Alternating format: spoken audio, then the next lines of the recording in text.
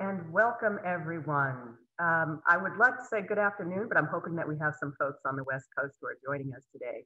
I am so grateful to be back here with Healthy Churches, and I am just so grateful um, for uh, Dr. Pernessa Seele and, and her vision. Um, many of you must know her and have worked with her in the past. And again, just want to thank her so much for the invitation for, for me to come back. Yes, I'm Dr. Karen Winkfield. I'm a radiation oncologist I've been associated with Healthy Churches since 2016, and I'm very pleased to be back. And I want to thank the Healthy Churches family. Thank you for being here and for prioritizing this information about health and well-being that you can take back to your churches, to your congregations, and especially now with this COVID going on. Uh, this has really changed the dynamics of everything that we do. And so while I'm going to miss being there in person with you, I'm grateful that you're here today uh, on this uh, live webinar.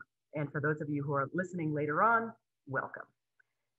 So two years ago, um, I had the privilege of being involved uh, in Healthy Churches. And at that time, I made the announcement that my husband had passed away. And there were so many of you who prayed for me, who were there for me. And I want to thank you for that. It's never easy to lose a loved one. And so I'm thinking about all of those who may have lost a loved one in the last few years. It definitely changes one's perspective. And so I want to thank you so much for your prayers and for your thoughts. So much has changed since the last time I saw all of you, including the fact that I lost the weight that I promised. Many of you may have remembered four years ago uh, that I had said I wanted to be an example of what we can do to reduce our risk for the development of cancer. Knowing that obesity is one of the leading risk factors, I took it upon myself to find a way to lose the weight. And so here I am. So I want to set that example for you all. And again, I want to thank you so much for those of you who have challenged me to do that. In addition to that change, I moved on to a new job and I'm really hoping to broaden my reach uh, by working with the Meharry Vanderbilt Alliance. Many of you may know of, of Meharry uh, Medical Center, which is in Nashville, Tennessee. It was really important for me to give back to my community and be a part of one of the historically Black colleges and universities. And I'm so pleased to be able to do that. Regarding today, we're going to talk about cancer. And I've been helping to curate the oncology section of Healthy Churches since 2016, as I've mentioned. And I've always stressed that Dr. Seele insists on bringing excellence. And today is no exception. I am so pleased to introduce my friends and colleagues, Dr. Tiffany Avery and Dr. Zanetta Lamar, both who are oncologists, and I'm going to have them turn on their cameras right now we are the three black Docs. So welcome friends. And uh, hey. for those of you who don't know, we know, are so happy to be here. Yes, we have a podcast. And so we are going to do this kind of discussion the same way that we do our podcast. Again, we're called the Three Black Docs, the number three Black Docs DOCS. And we'll put that information in the chat box for you so you can check out some of our podcasts that we've already done. Um, but first, I want to actually start with letting you know who these individuals are who are sitting in front of you. And I'm going to start with my colleague, Dr. Tiffany. So why don't you tell the people a little bit about yourself? Well, thank you, Karen. Again, I'm so excited to be here today. So thank you for the invitation to participate. My name is Tiffany Avery. I am a medical oncologist. I did my fellowship training down at MD Anderson um, in Houston. And uh, since then, uh, the last 10 years, I've been uh, mainly involved in academics. So I've been um, doing research into patients with breast cancer, uh, taking care of breast cancer patients, um, getting funding to run clinical trials in breast cancer care, and have also had funding uh, to study disparities, which I'm sure we're going to talk about, which is um, the fact that Black people die more from cancer uh, than white people, than anyone really. Um, and so I've also had funding to study that, and that has really been the focus um, of my career. So at this point, I am not in academics anymore. I have struck out, um, just like you said, trying to really broaden my reach and really focused in on getting into our community, getting the information that people need so we can really start to move the needle on cancer disparities. So thank you. I'm also a co-host of Three Black Docs with you, Dr. Karen, and Dr. Zanetta, who is coming up, um, which is just a great joy of mine right now. So thank you, and I'm looking forward to this. Dr. Z. All right. I am so excited to be here. Uh, when I heard that Um, we had the opportunity to participate. I cannot tell you how excited I was. I am a physician, but let me tell you how I started. I grew up in the church. My father is a pastor, my grandfather is a pastor, and uh, I know church. And, and I always said, I've always wanted to be a doctor, actually, since I was three years old. And I remember I would pray and I said, God, if you let this happen for me, I would not be ashamed. And so I would always say, I'm not ashamed uh, of the gospel of Christ. And so I'm so excited to be here. So after um, I finished high school, I went to Grambling State University in Grambling, Louisiana. And after Grambling, I went on to Meharry Medical College. I cannot say enough about Grambling or Meharry, my two HBCUs. And after that, I went to residency and fellowship training in North Carolina at Wake Forest. I stayed on as faculty and I specialized um, in, in a type of blood cancer. And during my time there, I was one of the only funded um, investigators, and we opened clinical trials. I wrote my own clinical trials.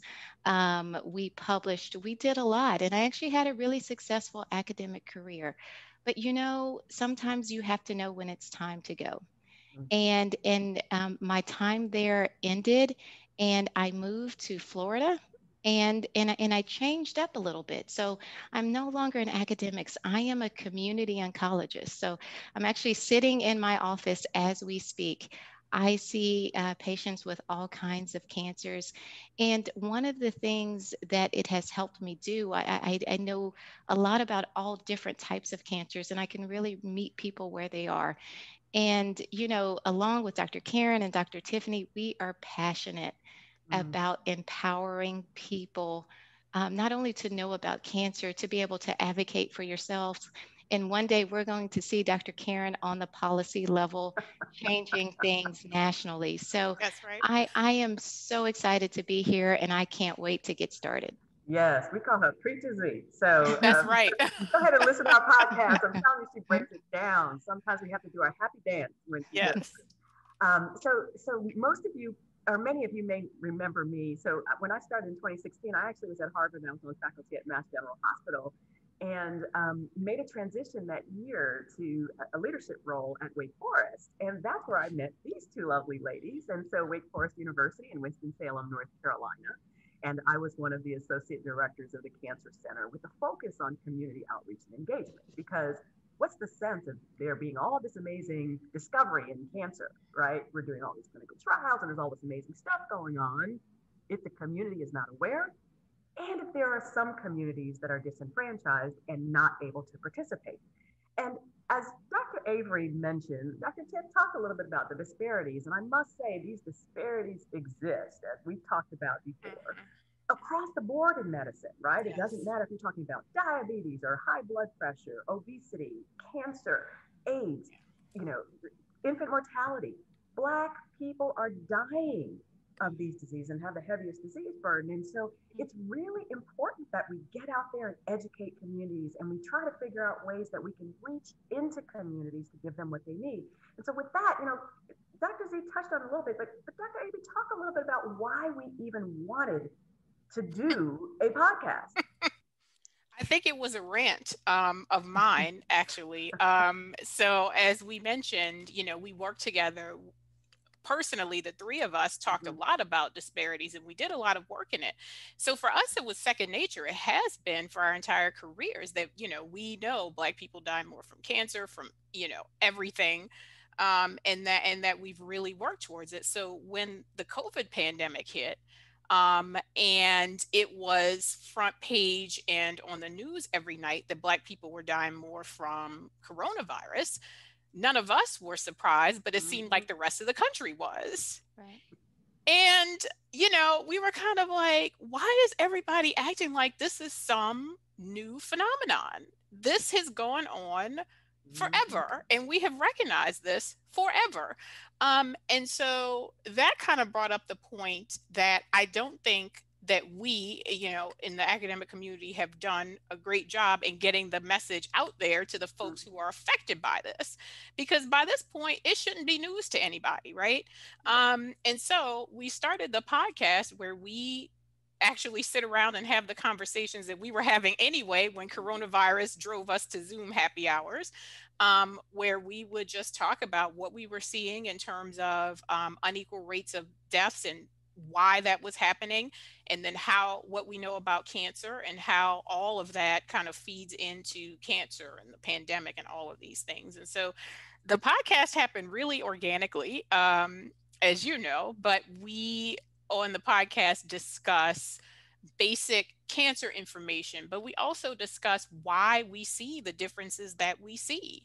Mm-hmm. Um, and really, we just want our community who is affected by all of this to know about these differences, to kind of start to think about how we can address them because we can address them everywhere from. You personally to your community up to your policy and you know what kind of advocacy you can get involved mm-hmm. with um, politically and so there's a lot of opportunity for us to move the needle but folks have to know it exists um, and think about how we can all contribute and start working towards it yeah See? yeah so i mean really with the podcast starting it's just like tiffany said she called you she called me. she said, Wow, you know, we gave two very different perspectives about uh, about those concerns. And and Tiffany really just said, we should start a podcast. And mm-hmm. so when when Karen hears the idea that something needs to happen, right please know it will get done. And and that's the part that you need to underscore because yeah. I was ranting and then I felt better. And then next right. week we had a producer. Right. And right. we were recording things. So yeah. So and you know, I'll go along. Hey, okay, why not? Let's do a podcast. How do you do a podcast? Right. right.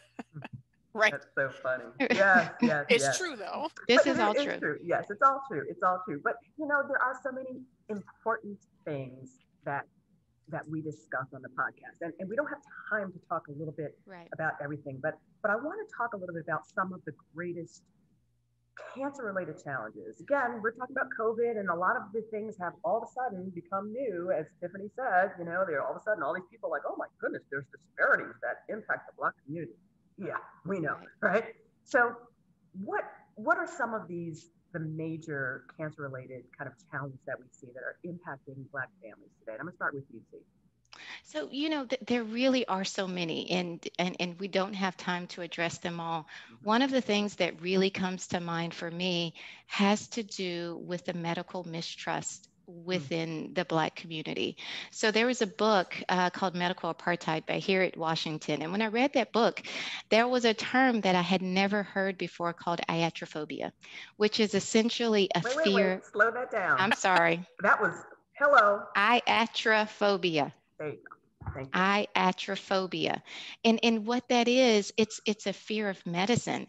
And and why in the world would you say, oh, you know what, I'm not afraid of medicine. I just don't want to take it, or I'm not afraid of going to the doctor. But we really have to think back. I mean, if you go back centuries, um, slaves were used for human experimentation, right? Some of the early heroes of medicine, hmm, I'm looking at you, gynecology some of the early heroes of gynecology they have statues up mm-hmm. you know mm-hmm. because they were such great surgeons they experimented on poorly anesthetized slaves and mm-hmm. so and, and even slaves that couldn't work in the fields mm-hmm. they were sometimes rented out for and, and for, for research explain what she means when she says poorly anesthetized so mm-hmm. any woman who has mm-hmm. had a gynecologic exam knows what that's like okay so imagine if they were doing surgical procedures without multiple surgical procedures. No pain medicines. Okay. And and folks want to wonder why there's mistrust. Okay. I'm sorry. I just had to. Thank you. That. Thank you. Please, mm. please do. And so, you know, I, I Karen, Tiffany, and I, we've been in a lot of research meetings all the time. And, you know, the question always comes up hey, how come Black people are not participating? And how can we get more Black people to participate? and, and they always say, well, you know, it's because of Tuskegee. Mm-hmm. And so, you know, we know that there was a Tuskegee syphilis experiment where people who had syphilis were not treated when when there were treatments for syphilis at the time but it wasn't just tuskegee we mm-hmm. have multiple examples there are mm-hmm. examples after examples after examples where the medical community has done a disservice to our community and so, whether or not we realize it or not, just like in church, we talk about generational curses. Mm there are generational there's a generational mistrust that can happen with medicine and so if you feel like every time you go to the emergency room you have to defend yourself so you mm. could be treated mm. that's a part of the generational medical mistrust yeah. if you feel like you know what i can't trust my physician because x this is yeah. a part of the yeah. generational mistrust and so how does that impact we talk about disparities mm-hmm. we know we know that we're dying pure and simple. You know, right. Dr. Tiffany pointed that out, but also we're treated less aggressively sometimes mm-hmm. with with our cancer treatments and because of this our outcomes are worse and yes. so to me this is one of the greatest challenges that's facing yeah. our community and even the fact that even when people are when when individuals are self-aware they oftentimes right. will go to the emergency room and be turned away or go to their provider. So we all have had stories, right? So I treat breast cancer and I treat blood cancers again. That's how I know both of you, right? So doctor mm-hmm. Z is blood cancer, Dr. T is, is breast cancer, right? So I've had 20 something year old black women who go in and talk about they have a lump in their breast and I say, oh, that's, that's nothing, you know, it's probably just fatty deposit or whatever, and go on about their business. And lo and behold, they actually had, you know, breast cancer and ended up dying a year and a half later because they were not treated well. Right. And so, you know, Tiffany, Dr. Tiffany, talk a little bit about, you know, lack of information, misinformation, disinformation. We're seeing a lot of that even now with the COVID era. You know, who do you trust? And so talk a little bit about that as being a barrier to, to care. Yeah, it's it, it's a huge barrier, right? Um, and and I think we've all unfortunately seen um, young women who um, you know found something or young folks who found something and they were ignored. So part of this is, you know, really having to advocate for yourself, um, knowing kind of the barriers that are in the medical community, right? And so, you know, if you have a lump in your breast, keep going until somebody puts a needle in that thing and diagnoses it. That's, you know, mm-hmm. off top. But in terms of, um, you know barriers to knowledge so i think within our families and historically cancer has been like the whispered c word right, mm-hmm. right. nobody wants to talk about it everyone's super um, scared about and fearful about cancer i mean we are the doctors that no one ever wants to see and i think we all um, went into oncology knowing that mm-hmm. um, and I understand why there's the fear of cancer, but we can't let that fear get in the way of us talking about it um, with our doctors, but also with our families. Yeah. So here are the two big things. The first thing is we have to know um, what the recommendations are for screening mm-hmm. so that mm-hmm. we can be on time with our screening and if you know you're seeing a doc um, and they haven't offered you the screening for you to say what cancer screenings am I eligible for? What should I be getting? Um, because a big part of this is if you're going to have a cancer, you want to catch it as early as you possibly can, and we yeah, don't so, want to ignore anything. So go ahead and go, name the cancers that we can have that we do have yeah. screening for. I know that folks who've been on breast cancer. Mm-hmm. Breast, breast mm-hmm. cancer start at 40 uh, with mammograms. Prostate cancer, start at 40 with mm-hmm. PSAs. Can you repeat that for the people in the back? Yeah prostate cancer. Thank you. Thank you. Just saying, come on, black man. Al Roker, you know, you... Al Roker was diagnosed with prostate yeah. cancer this week or last week. Yeah. yeah. And and so, but here's the thing, and we've talked about this before, but there's a lot of confusion about when you should start getting your screening mm. because different societies put out different guidelines. And so mm. the ages can change. But whenever you see an age that is older, ignore it if you're black we die right. more from cancer. We get diagnosed later. We get more aggressive types.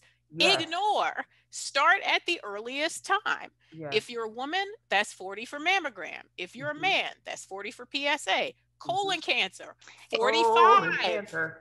And I'm here to tell you, colon screening is the easiest of all. If I never, well, PSA yeah, is probably would, easy because I, I, don't know about that. I had it done. it's year. easier than the mammogram, but colon cancer, 45. Um, yes. Um, and so, oh, and also, if you are a heavy smoker, Yes. Lung, lung cancer. screening for lung cancer where you can Mhm, get a CAT mhm. scan if you are a heavy smoker. Yes. And Right. cervical Easy. cancer. I'm sorry, say Right. it again. And cervical, cervical. cancer. And cervical cancer. That's women's uh, parts. Which is women's Your lady parts. right?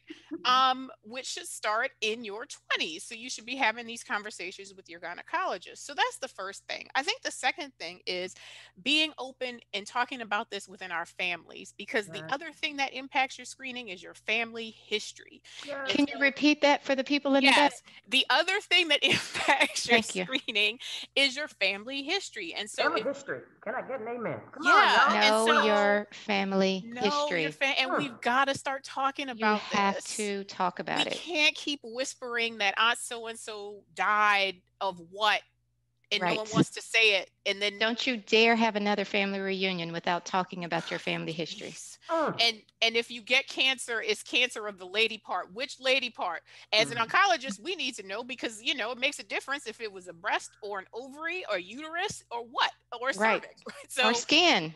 So we need to be specific please yes. But the thing is, if you have a strong family history, you might be eligible to start screening even younger earlier, than yes, 40s for breast cancer, yes, right? yes. Even younger for colon cancer. Way Yeah. younger in some instances, depending on what's going on. yes. Um, and so we really need to start talking about this in our families, um, and just putting it out there and Mhm. um, not having such a taboo around a cancer. Now, now, Dr. Z, Dr. Z, one of, one of the questions in the in the Q and A's. Okay, so please, folks, if you're listening and you have questions, put them in the Q and A box. That's why I'm going to look not in the chat. Please put them in the Q and A. Was about pancreatic cancer. Now, November is Pancreatic Cancer Awareness Month, Yes. and my boy Alex Trebek. Oh my God, I don't know how many Yeah, watched Alex, ever I uh, got right succumbed, and it was interesting. what is They're like, sadness? well, well, they're like pancreatic cancer is new. It's not. It's just not one of the cancers that we screen for. That's right. And it is, there are some signs and symptoms, but not many. So, so doctors, Let's- can you take this real quick? Let's let's talk about that with the pancreatic cancer. Okay. N- Now, you know, you don't have the typical um, screening test for pancreatic cancer like you do for colon or breast cancer. But we know that pancreatic cancer impacts Black people more. One of the things that you really need to watch out for if you are recently diagnosed with diabetes, Mm. Diabetes. diabetes well Mm. because what what the pancreas does it helps to regulate insulin helps to regulate your blood sugars Mhm. so you know if you are someone you know you all of a sudden it's later on in life and you're getting diabetes you need to think about you know could this be a sign of pancreatic cancer another thing that pancreatic cancer does it can you can have pain in your abdomen that goes to your back Mm. that is something that you want to watch out for so Mhm. we do scans. Uh, you know, an abdominal scan can show, you know, if there's something going on. But if you know, particularly if you don't have risk factors for diabetes, we know some of those risk factors are kind of being overweight and having some other things. If you don't have those risk factors and all of a sudden your blood sugars are going through the roof, I want you to think about could this be a sign of pancreatic cancer? Mhm. Because Mhm. it is one of the cancers that we have to catch early Yeah. we still have lots of work to do with pancreatic cancer. So if Yeah. we can catch it early and if you can go to surgery, that is the most ideal scenario. yeah. Can I just add something about pancreatic cancer here? Mhm. We're Yes. also learning that that runs in families too. Mhm. Absolutely. There's a Yep. genetic component that runs with breast cancer, right. Mhm. prostate cancer. that BRCA2 gene, right? Exactly. And that goes back to your family history. Family Right. history. Yes. Really, Right, really because important. because now with pancreatic cancer, we are checking for those genetic mutations and we didn't do that all the time. So That's right. important question, very important. Yes, yes. So thank you for bringing that up. And you know, I don't. We don't have time to go into the treatments and things like that. But let me point out a resource for you. There's an there's an organization called PanCan. Um, that's Mhm. like for pancreatic cancer. That organization does an amazing job They're very not good. only having wonderful resources in terms of educational resources for you, for your churches, um, but they also can really help to provide some one-on-one connection. So PanCan, look them up, all right, and make sure that you know if you have any concerns about uh, pancreatic cancer, if you're undergo, if you've recently been diagnosed and you, and you have questions, check them out. You know, I think we don't do that enough as as Black people. We don't we don't oftentimes go get into involved in like support groups or anything like that. And I'm not saying you got to sit around and do a kumbaya, right? But it's really important, and that's the whole reason why y'all are here, right? To learn about some of these things, so you can take the information back to your congregants and to really have this this opportunity to really share the mm-hmm. information. Um, I do want to talk a little bit since we're talking about family history and the importance because we're talking about all this genetic stuff. Uh, Dr. Tiff, I want you to talk a little bit about clinical trials because you know, mm-hmm. you know, Dr. Zanetta kind of talked about the fact that number one, iatrophobia is real, right? So fear of medicine, of the medicine, of medicine and medical physicians practice, et cetera, is real because of some of the experimentation. And so when people hear the term clinical trials, yes. they're like, I know yeah. you're trying to have me be a guinea pig. So yeah. I want you to talk a little bit though about the importance of clinical trials, especially for Black people, because we're getting left behind. So talk a little bit about that. Okay, so the first thing to think about is that every cancer drug that we use came through a clinical trial, period. Okay, so all of these new drugs that have moved, you know, the cancer care forward and have impacted survival have come through a clinical trial. Now, the process of getting a drug through from a trial to an approved indication is years, sometimes a decade or more. So the the folks who were on that trial that got that drug that turned out to be a game changer got it sometimes 10 years before everyone else did mm-hmm. to impact their cancer okay and so that's where i like to start in terms of thinking about what is one huge benefit of a cancer clinical trial and it is just that that a lot of times you are getting treatments years before they become standard of care. You are getting the cutting edge treatments. And often, um, a lot of the later stage trials, like the phase three trials, you're actually either getting whatever is already standard mm-hmm. or you're getting standard of care plus something that may benefit you. Okay, so if you have cancer, are you only ever going to get a placebo? That's so, exactly what I was going to say. Are, are, you ever going to get a sugar no. pill alone? Okay, so so all y'all know. If, if there's a you no no if ahead. there's a standard of care, you will get the standard of care. Yes. The other thing is the way that trials are conducted now are so different uh, from in the past. So there is something called an IRB, which is an institutional review board. Anytime a trial um, is written or submitted to be open, it mm-hmm. first goes to the IRB um, for review. Um, the other thing is that there is a process called informed consent where it is your right to know everything um, that is going on with the trial. It is also your right to withdraw from the trial anytime you want to for any reason.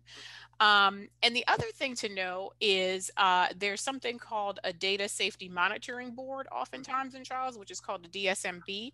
And the DSMB will take a look at the data and the safety as it goes on to see if there are any signals. And if there are signals that there is a safety issue, oftentimes the DSMB will put that trial on pause until they figure it out. And we can see this real time with the COVID vaccine yes, trials. Yes. That went, mm-hmm. one of the trials went on uh, went on a break for a little bit because the DSMB board saw some issues with muscle. But anyhow, um, so the point is that there are many checks there um, in the process to ensure patient safety. The benefit is um, that you are getting cutting edge cutting edge care and often you're getting much more care like you're getting more mm-hmm. scans you're getting more benefits in terms of mm-hmm. participation i want to talk about another um, kind of myth that comes up because we also hear often right that black people don't participate in trials but mm-hmm. what i hear from uh, black cancer patients is we're not offered trials you're not offered the trial and so even when folks the want the clinical trial mm. they're not offered the trial mm. and that that's one of the one of the places where bias in medicine comes in right so, so this, this brings up one of the things you're absolutely right that I want to talk to Dr. Z about because you know. Can you hear me? Yes. Yeah. okay. Perfect. What I want to do, Dr. Z, is have you talk a little bit about the importance of patient-provider communication, right? So Dr. Tiff is talking about the fact that look, half the time we're not even getting offered stuff, right? So it, and it goes to this mistrust issue, right? Absolutely. So let's be solution oriented here. Let's talk a little bit about the importance of patient-provider communication and what are some tools that you kind of think sure. that our, our, our listeners can take back to their congregants. So, you know, when I think about the, the patient physician or, or patient healthcare provider, um, I, I think of it as a relationship. It really is. And and and the relationship is formed based on trust. And so I, will be honest with you, most of most of us oncologists, we went into oncology because we really care about our patients and we hate cancer. Okay. And so one of the things that, that I, I see lacking sometimes is, is the empowerment. As a patient, you hold the power, right? And so, one of the things that's important is that I always want you to know what is your diagnosis, right? So, when you're going to a doctor's office, you want to know exactly what that person is treating you for. You know, sometimes people go to the doctor for years and years and years. And I've seen them and I'm, you know, taking over new patients. And I say, okay, well, let's talk about your diagnosis, what's your understanding? and i mm-hmm. hear a patient tell me oh no you just go through the blood work and then and then tell me if it's okay no no no no no that's not what we're going to do no no no no no we are going to know what our diagnosis is. If you have a cancer, I want you to have a copy of the pathology report mm-hmm. because, as you know, because that also helps with family history. Yes. Okay. Right. So, so wait, wait. You, Say that again mm-hmm. for the people in the back, please you want to know your diagnosis. There is a pathology report that says your diagnosis. Then, when you're talking to your family, piece of mm-hmm. paper, piece of mm-hmm. paper, when you're talking to your family and at the family reunion, because we've already agreed at the next family reunion, we're having a family history section right before the, the, the uh, Friday night or Saturday night banquet. Okay, we're going to have a family. Re- Look, you're right. Right before the banquet. Wow. That's what we're going to do. And so, it, it, and so you you want to know what the diagnosis is. And one of the reasons I'm so big on knowing what your diagnosis is, because if you know what your diagnosis is, then you're empowered to ask questions. Yes about what's going yes. on with you yes. and and i always say you know I, it's a relationship but when you come into a room and you know your diagnosis and you know hey with this diagnosis you can you can look up some things you you you're more empowered to ask questions mm-hmm. it actually shifts the dynamics of of, of a of a conversation because when I walk into a room with the patient, I don't have it on right now, but I wear my white coat. I get the big chair, you sit in the little chair. I am in a position of control. Mm. When you know what's going on with yourself and you say, "Hey, you know, you know what? I know I have an invasive ductal carcinoma of the left breast, and I want to talk to you about what my treatment options are. What kinds of endocrine therapy do you recommend?" That's mm. when I say, "Let's Let's get it started. All Let's right. roll. Yeah, Let's roll. Let's roll. There you go. Right. Right. Are there and, any and clinical trials that I might? Are there any clinical trials available? Yes. And yeah. so, uh, from henceforth, now and forevermore, I don't ever want you to go to a physician's office and not have a list of questions. Even if that question is, you know what? What is your goal?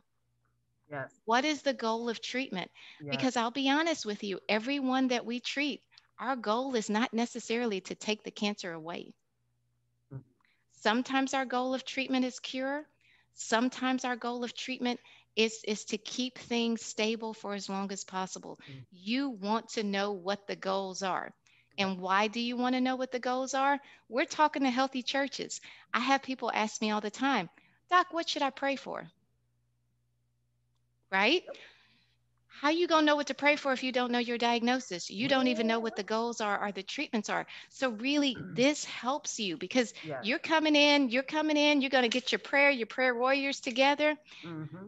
you're going to mm-hmm. pray for your medical team but you're also going to pray you know what lord i have left left invasive ductal carcinoma of the of the mm-hmm. breast my mm-hmm. doctor is telling me my prognosis is this and i'm coming to you for this so, um, you know, I really think if we could start there, if you could start with knowing exactly what you have, yes. and if you can be open to hearing what the what the physician is telling you. Mm-hmm. Sometimes mm-hmm. we say things that I don't, you know, it, it's not a comfortable conversation. Right. Right. So, Karen, I'm going to. No, to that point, we're, we're talking mm-hmm. about questions. Now I'm about to go into the Q and A. We're about to go to, oh. to the Q and A session. No, no, this is important. But one of the things that Dr. Z is talking about is number one, kind of knowing your diagnosis and asking questions. Sometimes when you hear the word cancer, your brain goes blank. Like you can't do it. Right. So part of what I want to make sure that everybody who's on this call today, if you go back to your congregation, the one thing that you can do is be a support for anyone that you know has cancer. First of all, though, people have to be open about it, right? And we You know that that can be sometimes open. be a struggle for us to admit when we have a diagnosis of cancer. So please be Right. open, number one, if you have a cancer diagnosis, with sharing. Don't have to share everybody, don't have to get up on the pulpit and announce it to the whole world. But pick your few people that you might want to have a conversation with, or your pastor, and, and have somebody who can accompany you Right. to these conversations. So when you're going on your initial consultation, or when, when there might be a shift or a change in terms of treatment course, or you're seeing a new doctor, because cancer care is complicated. There are lots of Right. doctors that are involved, and our podcast will share some of that information. So please make sure you check out Three Black Docs. But it's really important to make sure you have someone who can accompany you and who can advocate on your behalf. Now I want to go to the chat box. I mean, to the to the Q and A section because Sure. there's actually some really good, interesting questions. We don't Okay. have a whole lot of time, but um, I'm going to actually pose this first question to Dr. T. Um, so our, our one of our first um, questions it says, what is the best way for health ministries to advocate and support family and church members who are diagnosed with breast cancer? And they knew, so here's knowledge. They said one in eight women will be diagnosed. Yes, indeed. And it's higher in black women, right? And black women die at a rate of 40% higher than white women. Okay. And you say I have to put on my glasses, I'm getting old, y'all. All right. So Dr. T, Yeah. what, what are some ways that people can advocate? So one thing, you know, that the person who posed the question pointed out because they are already knowledgeable is that breast cancer is so common. Right. I bet you with your church, if someone gets a diagnosis, I bet you there are others who have already had that diagnosis. Um, and so again, it is the idea of uh, being open because you probably have resources within your church to form support groups with folks who have already had breast cancer Mhm. right um and so just being able to talk to someone i mean could you imagine if someone who was in your church in you know in your church family had already had that diagnosis and could offer support kind of tell you with the ropes what was going on um you know and just offer that comfort maybe be able to accompany them to visits that would be Mm, such a resource awesome. you know Yeah. but again we got to put it out there you know and, and you might not want to get up on the pulpit and announce things but I, I would bet you that there are other people who have already gone through that journey Yeah. and what a support that could be Mhm. um you know within the church community Yeah. right um Oh, go love the ahead. fact that you're just talking about even providing support, like with rides and things like that. Um, Yeah. Dr. Z, any any other? thing Yeah, want you, you hear me over there move to the because next? this is something Yes. that is pertinent. I mean, before I started, th- th- you know, this webinar today, something that uh, church ministries can help with is knowing the support within your local community because something that we are seeing, especially with COVID, people are losing their jobs, they're Mhm, losing their health insurance. mhm. Sometimes the medications that we give in these high cost deductible insurance plans Mm, they are breaking patients. Yep. So if you can find the networks for financial resources within your community, the oncology clinic will do it as well. But but that is something um, that that's something that could really really be helpful. So, Um, so really, so the so ministries actually can then look to see whether or not they can compile a list of local resources, transportation resources, food resources, right? Because Mhm. nutrition Exactly. is important during cancer care. Um, you know, if there are childcare resources, if there's a young person who may have children, or maybe it's a grandparent who takes care of their grandkids, like Right. those are the sorts of things that ministries can really do to help. Now, Right. I'm going to pose the next question again. I'm going to go back to Dr. Tiffany because this is actually kind of relevant. Um, you know, are there resources or agencies that can that can reference to help justify requests? So this is related to, you know, we were talking about if you have a family history of a cancer, Uh-huh. colorectal cancer or breast cancer, and the recommendation is for earlier screening. Mhm. Are there any things that we can do to encourage primary care providers who oftentimes may not even be aware that Black people are being recommended to get some of these screening at an earlier age? Yeah. saying. Um, are there any, any recommendations around that? And this question was specific to gastric cancer, so I might throw that to you and, and Dr. Z. I think gastric cancer is one of those rarer cancers, but Right. you know, so it can be harder to look for resources. But in general, what resources? um you mean for for a patient who yeah like how can a patient advocate for themselves in terms yeah. of them being okay. able, if they have a family history how do they go and approach their primary care doctor or get the screening that they need breast cancer is easy you don't need a you don't need a doctor you just go and call the breast cancer that's right get screened but well first of all you come in with armed with the information hey this is what's going on in my family this cousin that cousin aunt mother I want to discuss this. But here's something that hasn't come up yet. If that person doesn't take you seriously, second opinion. Well, that's right. Always second opinions. If you're if you are diagnosed with cancer, 2nd mm-hmm. opinion. No mm-hmm. good oncologist will have a problem with you getting a second opinion where you're diagnosed with cancer. But also, if you have a strong family history and your primary care doc is not putting you uh, in in with the resources you need second opinion you know and and you just got to keep going and i hate that that's the answer because as we say this is on us in the medical community mm-hmm. um really and, and one thing that you can this, do because but, in in some communities too um, sometimes it's hard to get in with a primary care physician so, something that you can ask if you're saying, hey, you know what? I think mm-hmm. I need to be screened for something earlier because of something in my family, and you're getting pushback from the physician, something you can ask is, what are your concerns with me getting this particular screening? Yeah. Right? Hear what they have to say about pros and cons. And if mm. they don't have a good list of cons, yes, yes. then, you know, sometimes that can help help them, you know, order what you need. Yes, yes. So that is so so important. Now, there, it's it's really. Um, I do think that you have to learn how to advocate on, on your own behalf. Sometimes, if you're not feeling well, it's hard to do that. So again, this Absolutely. is where the importance of having a friend or a family member who can advocate. But I agree with um, with Dr. Tiffany and Dr. Z. Always get a second opinion. If you feel like right. you have a doctor that's not listening to you, you need to find another one. It's really important because you need to know you can trust that person, right?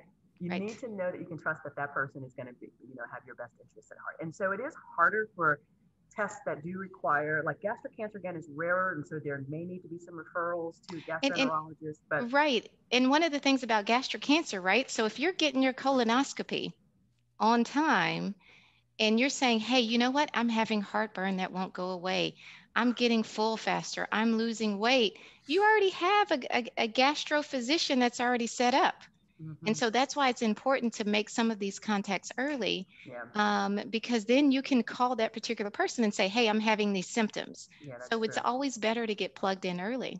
Yeah, yeah, that's that's really really good. Now um, we don't have a whole lot of time left, so I do want to still encourage some of the folks who are watching and listening to go ahead and put your questions in, because even if we don't get to them today, we're happy to kind of send a note afterward and respond to them later on. You guys can check us out at Three Black Docs. Again, podcast. We're at Facebook, Instagram, Twitter. And we have these conversations all the time, as you'll see. We even have some stuff on YouTube when we actually have guest speakers come in. Um, really important thing, um, you know, and I know Dr. Z, you talked about this. There's one person who talked about COVID kind of preventing family members from joining. And I want you to share your experience. I'll talk a little bit about my experience in, in kind of the clinic space, um, but talk a little bit about some of the things that you've personally done to ensure that patients who have to walk into your office solo still right. can have their family members as part of the conversation.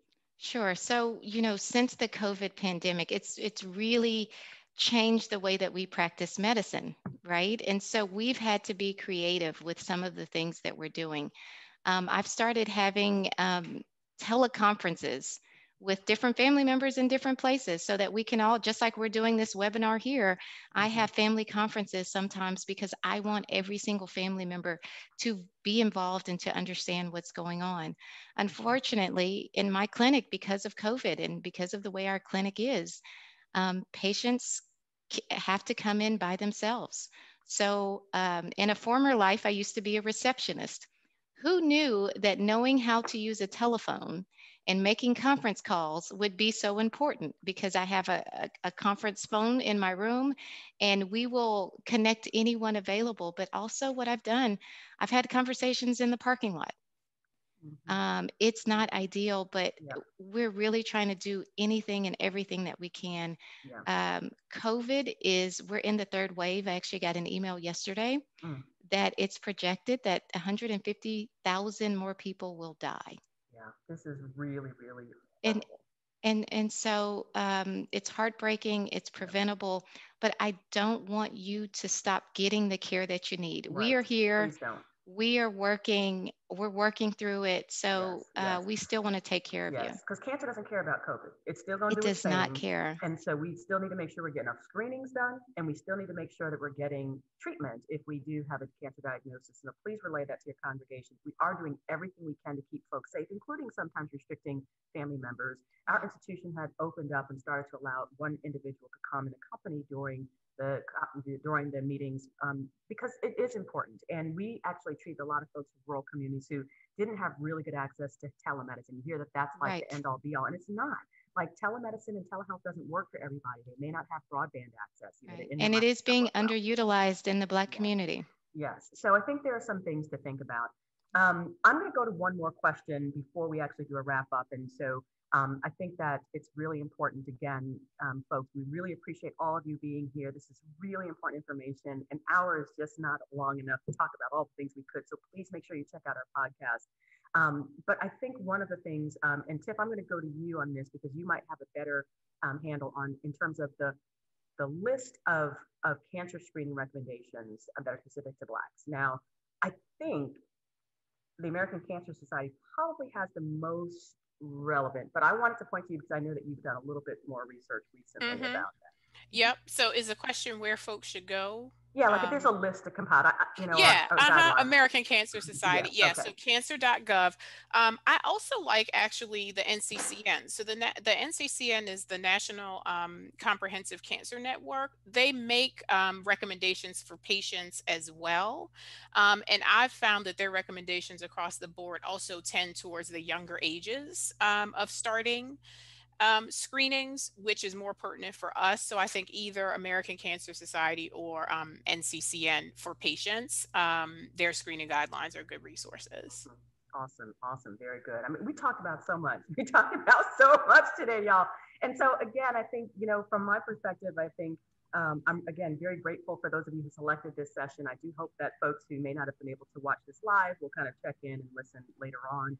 Hopefully, you'll find some pearls in here that you can take back. Again, you can find us on Facebook, and there's a lot of information that we actually post on Facebook online and post uh, post on our Simple Cast website, which is where our our podcast is housed, although the podcast is available anywhere where you get it. I actually get it on my phone. So if you have an iPhone and you have podcasts, you can search for us at Three Black Docs and you can hook us up there. All right. So please make sure you like, listen, and subscribe. Let your congregants know. Have them follow us. You've got three black doctors in your back pocket.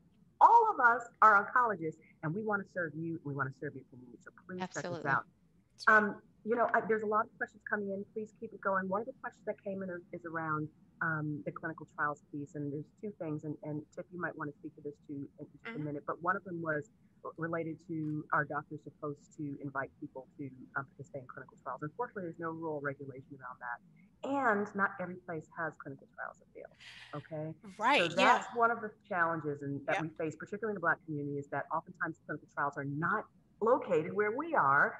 Doesn't mean that you know there aren't people who aren't being asked, you know, who do go to these places. And so that's one of the challenges. So just so you know, that's one thing. But the other question was really around getting onto the IRBs and, and kind of getting it as a layperson. We absolutely need lay people on IRBs. Tiff, did you want to add anything?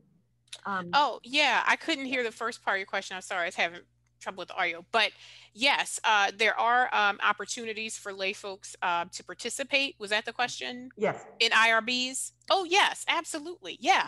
And um if you and, and I would encourage that um you know especially for black folks and listen, the more of us that are participating in IRBs and actually can see the behind the scenes of what goes on, the better because then you can go back out to the community and kind of, you know, answer the questions and allay the fears. You know, a lot of times I had try um patients um you know black patients who I spent, you know, an hour or two talking about a clinical trial um, and finally the person wanted to get on it after we understood everything and did everything and then when they came back someone at home said don't let them make you a guinea pig and then they Mm. said I, I don't i don't want to participate and that was it so so there's a lot of work to be done in terms of just educating as a whole. So yeah, I would love that. And then once yeah. you learn, go out and tell everyone else. So if there's a cancer yeah. center that's near you, you can actually call them up and ask them if they have an institutional review board and see what yep. their requirements are mm-hmm. for that.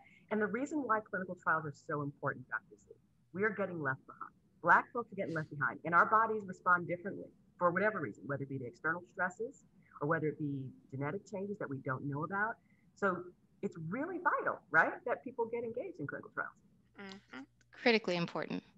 Critically important. Um, because, like Dr. Tiffany said, every single thing that I do in oncology, it's because of the people who participated in the clinical trials. Yeah. The reason in breast cancer we're doing lumpectomies and not these big surgeries that we're disfiguring is because brave women participated in clinical trials. The reason why we know about prostate cancer, even though we need to know more, mm-hmm. is, is because of people who participated in clinical trials. So everything that I'm doing is because of the people that came um, before you. So it's incredibly important. And, and now a lot of the, the community centers have clinical trials open. I'm an mm-hmm. oncologist, and actually, we're um, my research nurse is calling someone as we speak to to let them know that hey, you know what, you're eligible for a clinical trial. So um, it, it's in, it's incredibly important. You're, you're, in Naples. I'm just saying. Um, there aren't a whole lot of us there. just saying. Um, uh, never mind. yeah. Yes. So I can't we'll talk about that, that, tomorrow. Oh, but that's yeah, another podcast. That so, but let me tell you. So here's the deal. The reason why I'm bringing up and, and kind of ending on clinical trials is that COVID is impacting Black and Brown communities at a much higher rate than any other community, and we are not represented. Just the same way that some of the guidelines around cancer screening were based mostly on white people. And that's why they're like, okay, you don't have to do breast screening until age 50. No, doesn't apply to black folks. And you know why we don't have a lot of data? Because a lot of us weren't included in those clinical right. trials. So make it your prerogative to really seek out clinical trials because number one, you'll get better access to drugs and therapies potentially but you also are going to be part of solution. So please make sure that you guys have the information that you need around clinical trials and what that means. And especially in this COVID era, I'm very concerned that there won't be enough uptake of the vaccine and that we are going to further widen the gap that we see. We're going to further make it such that Black people are going to die from COVID at much higher rates. So we need to do what we can, whether it be to participate in a treatment trial, a vaccine trial, or really kind of start to talk to our congregations about being willing to accept the vaccine. Trust me when I say this, there is so much more oversight. There's been so much misinformation. I understand the distrust, the mistrust, the lack of trust. I understand it all. They're all different things, and I understand them all. We've had a hot mess of an administration kind of dealing with this COVID thing from a federal perspective. So I understand it, but there are good people who are working on this and who are really hoping to solve this problem. So please, please, please consider not only joining a clinical trial, but then also thinking about how we can do our best around this COVID thing. All right, we've got five minutes. So anytime we throw this much information at y'all, we want to make sure you guys have the takeaway. So Dr. Ted, what's one takeaway that you want to make sure that people who are listening go away with when we're talking about cancer in the Black community? You're gonna get mad at me because I have two. You always do. You always get mad at me. But one, well, because okay, I, but I'll be quick. I'll be quick. Okay, the first thing is know your family history and how it might impact your screening and get your screenings. The second thing, Karen, I forgot. I am now a board certified lifestyle medicine physician too. Oh, I have to remember this now since yes, I just found this out certified days ago or something. Mm-hmm. So I would be remiss if I didn't say anything about prevention, right? Cancer yes. prevention. Yeah. Mm. um, and okay. so again, That's it is. Ad. Thank you, thank you. I, I knew you couldn't be too mad at me. no. Um, and so again, for us to feel empowered, like we know all this information. What can I do to prevent cancer? What can I do to catch it early? To catch it early, we talked about your screening. Prevention, it is maintaining a normal weight. So I love that you started off talking about um, your weight loss. Uh, we do know that lots of cancers are associated with obesity. So it's maintaining a normal weight. It is getting physical activity regardless of what it does to your weight just the just the impact of moving your body quickly tiffany what is the physical week, activity 150 minutes a week um, where where you are breathing hard where you can talk and not sing um, looking at your alcohol consumption, avoiding excess alcohol, of course, not smoking or quitting if you do smoke, um, and watching your meat consumption. That's all. Yeah, I'm done. I, I, take offense to the last, the whole meat. you talk about that on our podcast too. Listen to uh, our here we go with the meat fight. listen to our podcast on colorectal cancer. Okay, you can see where where we depart. Like we already talked about, we all have different ways of looking at things. But I'm just saying. If it makes you feel any better, I had a piece of bacon at lunch yesterday. Oh, looking down. All right, love it. all right, Dr. Z, what's your takeaway? What's so your takeaway empower yourself. You and your physician are in a relationship know your diagnosis. We all know God is the great physician, right? He's the great physician. However, there are little physicians like us who are here. We are here to help you along your journey. Okay. So be empowered, know your diagnosis, go into that clinic with a list of questions, come out of that clinic visit with a list of mm, mm, answers. Mm. Yes, yes, yes. Love it. Love it. Dr. Love Karen, it. what's your takeaway? Well, mine is that cancer is not a death sentence. We didn't talk about that, but obviously all of this that we're talking about, when we talk about prevention or re- risk reduction, let's say risk reduction, uh, when we talk about the importance of screening, when we talk about the importance of treatment and knowing what your diagnosis is, uh, thinking about entering into clinical trials, all of this is because we know that if cancer is found, is prevented, but if it's found early, and you get the appropriate treatment, there is a wonderful chance that you can get cured. Not for every cancer. We're still, like you said, we have some work to do with pancreatic cancer, but early detection is key. And even when we talked about what congregations can do, and in terms of even providing support, if there are individuals who are willing to share their cancer story, the reason why that's important because it highlights the fact that cancer is not a death sentence. We have people who've been living with dec- for decades with cancer and mm-hmm. even in the metastatic setting, somebody had asked a question about metastatic breast cancer and are we seeing it more? I think yes and no. I mean, again, people die of metastatic cancer or, you know, if they're dying from, from a cancer diagnosis. So what we do know is that Black women are dying of breast cancer more. So that does mean that they have more instances of metastatic breast cancer. That's been for a while. I think you're hearing about it more, which is good. That means we need, we're talking about it. We're sharing our stories. And that's an important thing. So Cancer is not a death sentence. I just want to thank all of you again for being here today, for listening. I hope that you are able to take away some good information, right? To take back to your congregants. Please, please, again. And you know, I'm I'm up here. I'm like really talking up three black docs because I do feel like, as you know, um, I've been passionate about this area in terms of education outreach for many, many years. And for me to have stumbled across Dr. Tiffany and, and Dr. Zanetta, who have that same passion. Talk about providence, right? This was absolutely. And so we just want you to come on in, listen to our conversation, join the conversation. We have live sessions. We may be thinking about changing the day, but we have lives where you can toss in your questions and things like that. Mm-hmm. Now, we're mm-hmm. not going to answer specific questions about your cancer diagnosis. We can't do that if we're not practicing in your state, right? Like we can't do that. It's illegal, y'all. Yeah. But don't don't get us hemmed don't, up. Yeah, don't, please don't get us. You're not trying to go to jail.